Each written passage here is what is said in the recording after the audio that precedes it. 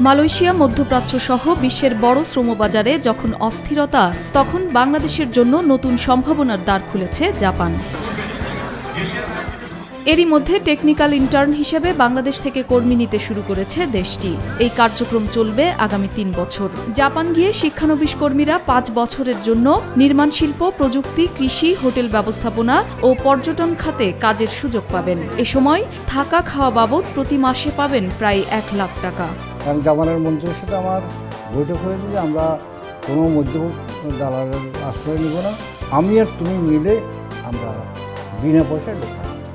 সুতরাং সে রাজি হয়েছে, আমরা পাঁচ বছর সে জাপানে থাকবে, কাজ করবে, কিন্তু টেকনিক্যাল ইন্টার্ন হিসাবে অ্যাজ ইফ সে শিখছে। এইটা করে সে চলে আসবে, একটা বিশেষ অনুদানও তারা দিবে, এবং বেতন তো অনেক বেশি। ফলে আমাদের এই বাজারটা অনেক বেশি একটা নির্ভরযোগ্য বাজার, যেখানে তারা কনস্ট্রাকশন সেক্টর এবং কেয়ার গিভার মেয়েদের ক্ষেত্রে কেয়ার গিভার পদটার জন্য তারা অনেক বেশি আগ্রহী। যেমন বলেছে আমরা তিন বছরে এক হাজার কেয়ার গিভার নিবই। পাঁচ বছর কাজ শেখার পর বাংলাদেশি কর্মীরা জাপানে দক্ষ কর্মী হিসেবে স্থায়ী চাকরির সুযোগ পাবেন। আর দেশে ফিরে আসলে কর্মসংস্থানের জন্য পাবেন এককালীন চার লাখ টাকা। এসে যেন সে তার ওই অভিজ্ঞতা কাজে লাগিয়ে দেশে কিছু করতে পারে।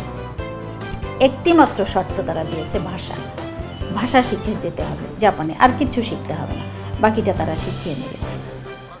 বিনা খরচে বড় অঙ্কের বেতনে জাপান যাওয়ার সুযোগ কাজে লাগাতে জাপানি ভাষা শিক্ষার উপর বিশেষ